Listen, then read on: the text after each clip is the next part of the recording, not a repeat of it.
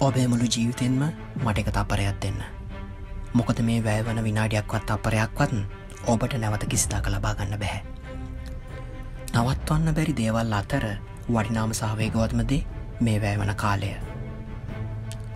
ලෝ ඒගොත්ම ක්‍රඩගෙක් වුණ හුසේන් බෝල්ඩ් ඔබට කියාවී තප්පරයක් තුළ හු ප්‍රථමයා වන්නේ කෙසේද සහ තප්පරය කොතරම් වටිනවාද යනවක බැටි රෙවල් එක සීරෝවෙන්න ඔන්න මෙන්න තියෙන මොහොතක ඔබට වැටහේවී දුරකතනයට වඩා මේ විනාඩිය මේ තප්පරය ඔබට වටින බව.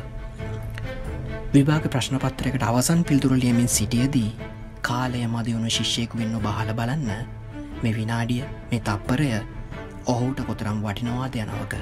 මිනිස් ජීවිත අවසන් විනාඩි අවසන් තප්පරය කොතරම් වටිනවාද යනවග අවසන් මොහොතය හුළඟට පැමිණිමින් සිටි ඔහුගේ සමීපතමින් ඔබට පවසාවේ.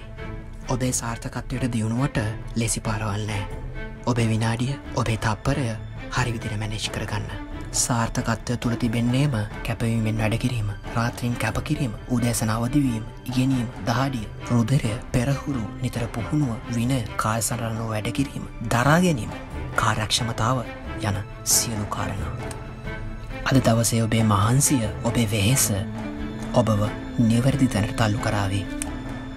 ඔබේ ගමන කෙතරම් සෙමින්නුවද කම් නැත අත නොහැර ජයග්‍රහණය වෙත පිය මනින්න. ලෝකයට ඔබේ සීන නොපෝසන්න. ඔවුන්ට ඔබ දකින හීනවල ප්‍රතිඵල දකින්නට ඉඩහරින්න. ජයග්‍රහණය හඬ නගනතුරු අත නොහැර නිහඬව ඔබේ ගමන ඔබ යන්න.